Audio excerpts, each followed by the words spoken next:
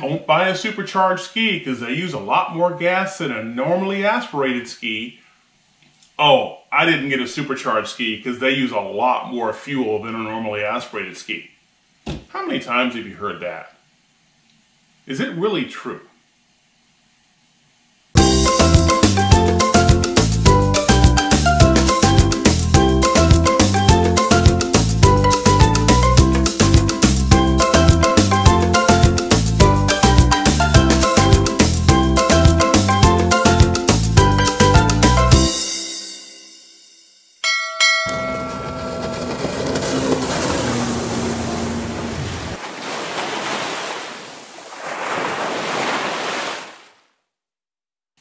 Hey everybody, this is Captain Frank with the Ship's Log, and this time we are going to talk about fuel economy. Uh, you hear it all the time. Every time if I'm in a, uh, a, jet ski or a wave runner group on Facebook, I talk to people, people ask questions about it, they go, how much more fuel does a supercharged ski use than a regularly aspirated ski or normally aspirated ski? Or if I buy a supercharged ski, how much more money am I going to spend on fuel? Am I going to be able to go as far, etc., etc., etc.? And one of the things I've always said was, well, a supercharged ski doesn't really have to use that much more fuel. It really does depend on how you ride it. But it seems like that nobody really wants to believe that. So now I want to talk about that in, in more depth and show you some information out there that might help you make that decision or might help you to understand whether this is really true. And if so, why is it true? So not too long ago, Jet Drift did an article because somebody asked a question, how far can you go on a tank of gas in a jet ski?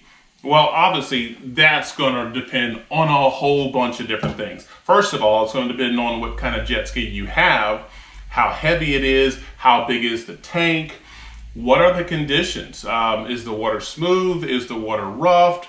Uh, is there a current? Because obviously, if there's a current pushing against you, uh, whatever direction that you want to go, it's going to take more fuel to go upstream, if you will, than it would be to go downstream or to go to an area where there's no current. So there's so many things that can determine exactly how far you can go on a tank of fuel. So this article wasn't really written as a comparison of fuel economies for different jet skis, but it did show us some information that actually can be really useful to us.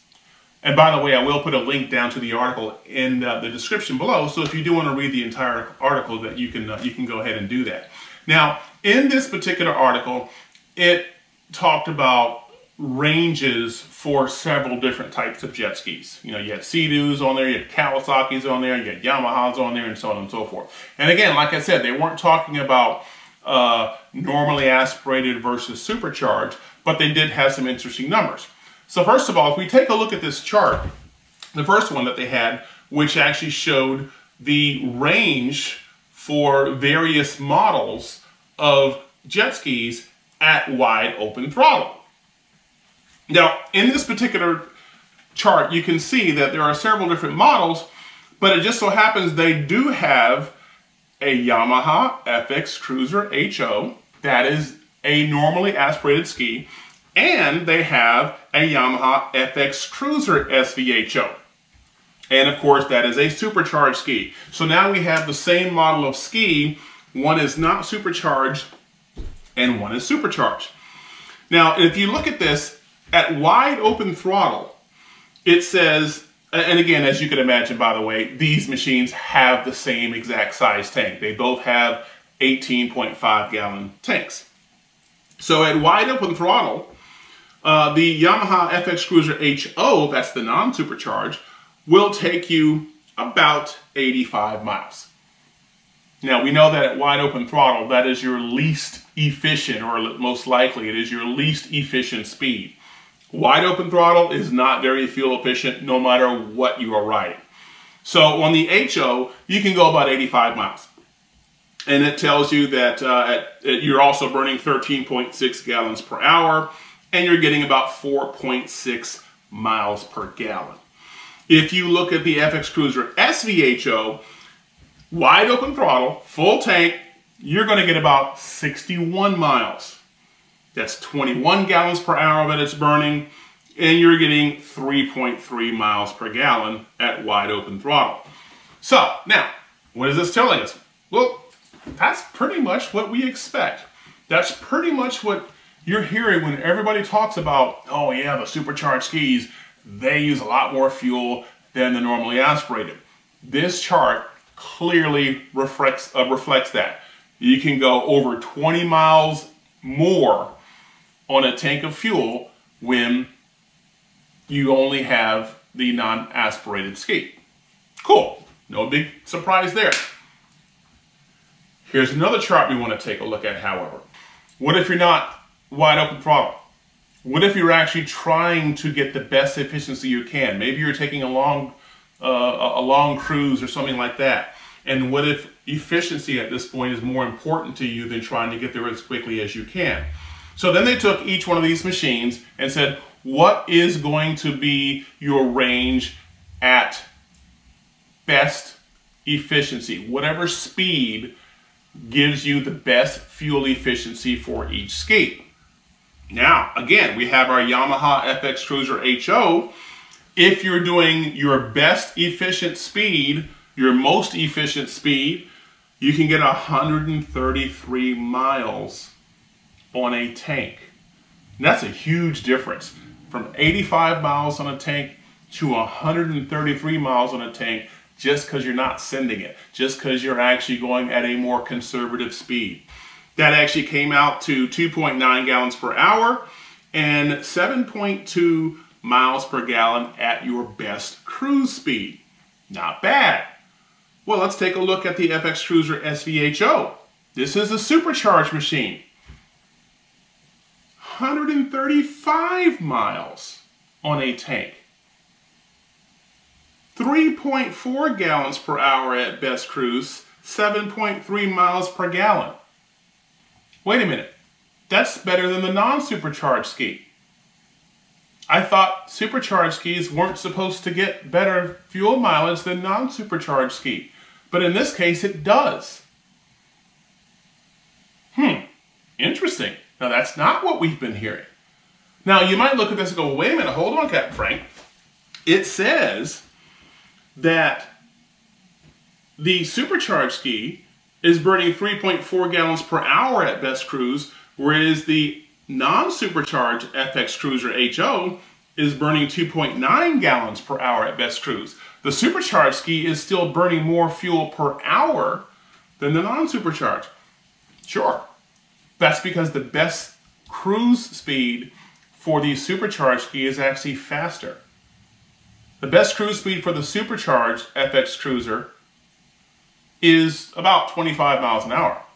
Whereas for the non-supercharged, it's about 20 miles an hour. So yeah, you're burning more fuel per hour, but you're going faster. And all in all, you actually can go further on a tank of fuel. So how is it that a supercharged ski can actually do a little bit better than a non-supercharged ski? Well, keep in mind, when you're supercharging, you're actually compressing the air. You actually have a higher compression ratio in your engine. Okay, a higher compression ratio actually leads to increased thermal efficiency, and that's why the engine has the ability to be more efficient.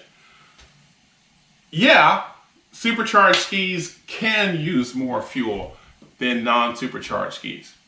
Well, for example, let's take a look at this last chart again it says FX Cruiser SVHO 7.3 miles per gallon at best cruise. Now keep in mind, best cruise in optimal conditions. The water is perfectly smooth. There's no current working against you. Um, those types of things. If the water gets rougher, I don't care what you're in. You're in a boat, you're in a jet ski, whatever, you're going to use more fuel. If there's a current against you, you're going to use more fuel. But keep in mind, these are things at best conditions. So the FS, uh, the SVHO, 7.3 miles per gallon at best cruise in those perfect conditions. And I've even thought, but wait a minute. I've done pretty well. I've gotten, you know, 6, 6.1, 6.2 miles per gallon on my SVHO. but I've never gotten 7.3.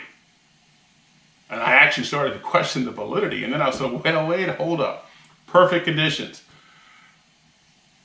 Who do you know that has a jet ski and there's perfect conditions? And we'll just take one component of that perfect conditions. Perfect conditions, perfectly smooth water. Who do you know has a jet ski when they get perfectly smooth water? They're not sending it. They're not wide open throttle. They're like, oh snap, and they're just burning it up.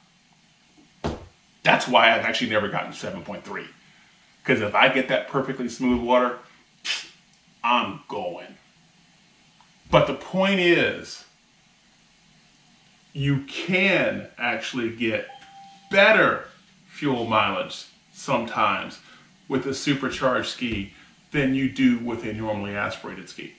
Now, does it happen? No. Why? Because we like to go fast. Let's just face it.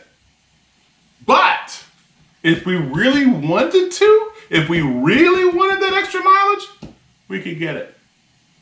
It all depends on you. So keep in mind, from now on, don't blame your ski, blame you. If you don't have a supercharged ski, don't use fuel mileage as an excuse for not getting one. Maybe you just don't want to go that fast, and that's fine. You don't have to. But